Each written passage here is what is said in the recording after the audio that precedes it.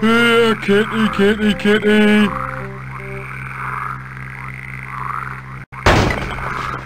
Oi, come here! Ow! Somebody grab him!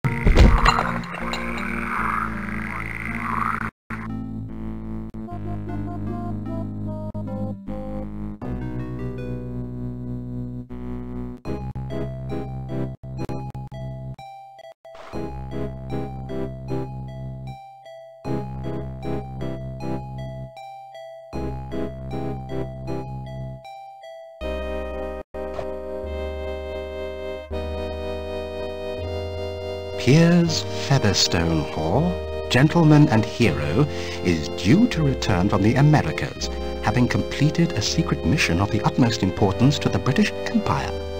If anyone can help me, this man can.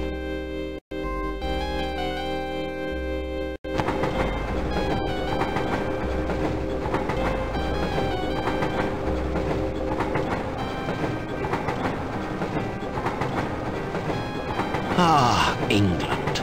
This green and pleasant land. Heart of the British Empire. After three months trailing round America, followed by a couple of weeks on a steamer in a third-class cabin.